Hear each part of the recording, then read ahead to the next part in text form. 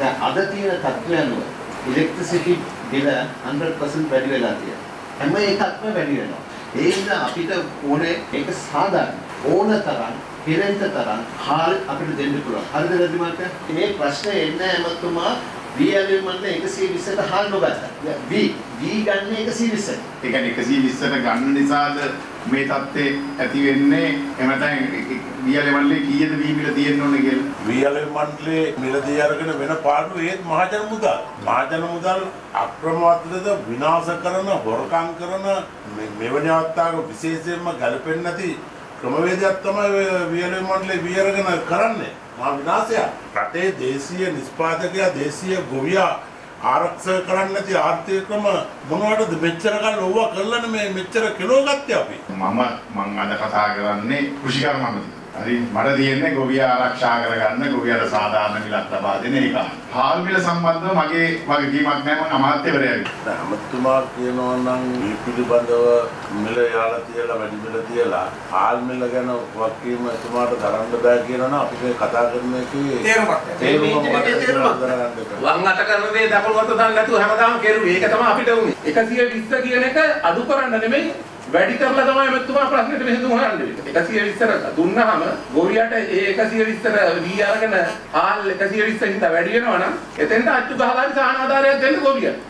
ඔබතුමාලා මේ වී වලට මිල නියම කරේ කොහොමද? මේ නාඩු 120 නම් සම්බය 120 වෙන්නේ කොහොමද? කීල් සම්බය 130 වෙන්නේ කොහොමද? කවුද ගණන් ඇදුවේ? නෑ නෑ ඒක දැනගන්න ඕනේ නෑ ඒකේ අවුට්පුට් එක කොහොමද අඩුයි ඒකයි ඒ වී වල වී මිටි 100ක් කොටපුවාම නාඩු වලට වැඩිය සම්බවල ලැබෙන ආල් ප්‍රමාණය එක්සස් එක අඩුයි ආල් ප්‍රමාණය අඩුයි ඊට වැඩිය කීල් සම්බ අඩුයි ඒක ගණනය කරත් ඒකට රුපියල් 50ක් දාපු එක හරි වැරදි අඩලි මහත්තයානේ මේක ගොවි ප්‍රදේශයක ප්‍රධාන වීමෝලක් කරන කෙනෙක් අවබෝධයක් තියෙන කෙනෙක් විදිහට ගොවියට වී කිලෝ එකකට කීයක් එන්න ඕනද?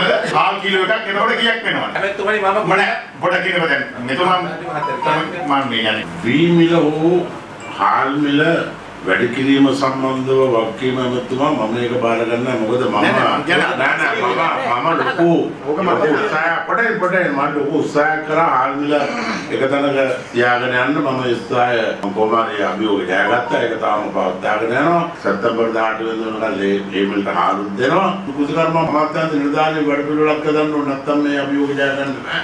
මිලවල් පිළිබඳව දැන් හාල් මිල වැඩි කරන්න කතා කරනවා ගියා ඊට උදේ ඩක්කි තමයි මේක කරේ කියලා. මම නම් හාල් මිල වී මිල තීන්දුව කරන්න ඉන්නේ නෑ නමුත් රටේ ආර්ථිකය කඩා වැටෙන්නේ නැති විදිහට මේකට නායකත්වයේ මූලිකත්වය ගන්න අය එකට එකතු වෙලා අපිත් ගෙන්නලා ගොවියොත් ගෙන්නලා පාරිභෝගිකයොත් ගෙන්නලා වගකිවුත් ඔක්කොම එක මේසකට ගෙන්නලා හැමදාම අපි හිතුවා දැන්වත් හරියයි කියලා. දැන් ගුවන් කපන වෙලාවට තමයි ගණන් කතා කරන්නේ. අපි අමතුතුමා ඔබතුමාට පෝර ටික ගෙනල්ලා දෙන්න සල්ලි දෙන්නේ නැති ආණ්ඩුව පෝර ගෙන්නන්න පුළුවන් මිලකට වැඩිය රටහාල් ගෙන්නන්න වියදම් කරද්දී ඔය ඔය කැබිනට් එකේ ඉන්න අනිත් ඇමතිවරුන්ට මෙව තේරෙන්නේ නැද්ද?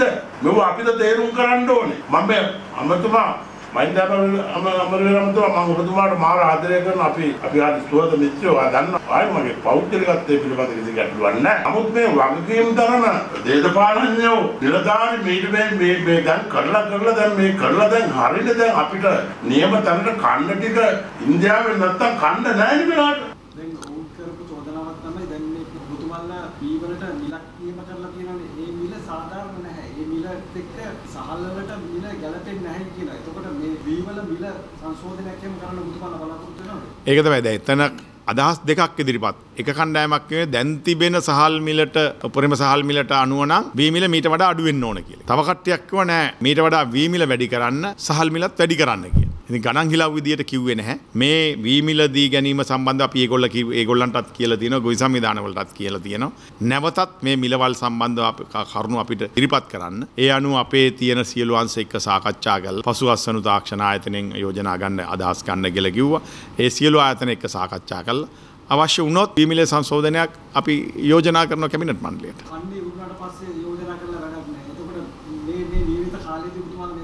නෑ කන්න ඉවරුණාට පස්සේ නෙමෙයි අපි එහෙම යෝජනාවක් ගෙනියනවා නම් ලබන සමුදරම් වගේ ගෙනියන්න තමයි අපේ අදහස තියෙන්නේ. ඒ අයටත් අපි කිව්වා එයාගේ අදහසත් ලිඛිතව අපිට ඉදිරිපත් කරන්න. මං ආල්මිල ගැන සාමාන්‍යයෙන් කතා කරන්න අදහස් කරන්නේ ඔව්, නැහැ. ආල්මිල අඩුවෙන් තියන්න තමයි මම සියලු උත්සාහයන් කරලා තියෙන්නේ. කට්ටියක් කියනවනේ දැන් දෙගුණයක් කරන්න ඕනි කියලා මේ වීමිල එතකොට ඒ ගාන සාධාරණද මොකක් ඒක සාමාන්‍යයෙන් බේසික්. ඒක තේරුම් ගන්න කර කියා ගන්න බැරි ඒ දේශපාලනඥයොත් එක්ක තමයි මේ රට දියුණු කර- කරන්න කතා කරන්නේ. 120ට මේ තියෙන එක දැන් වැඩි වෙන්න ඕනේද කොහොමද වෙන්න ඕනේ නෑ නෑ නෑ 120ට තියලා 120 දෙගුණේ හාල් කරපුවාම 120ට වැඩිය ප්‍රයිවට් සෙක්ටර් එක වී ගන්නවා. එතකොට ආණ්ඩුවට කිසි බරකුත් නෑ. ඔබතුමාලා සූදානම්ද වැඩි වෙන්න මේ මේ අනිවාර්යෙන්. කීය කීය ගානද ඒක ඉතින් කල්ලා බලන්න.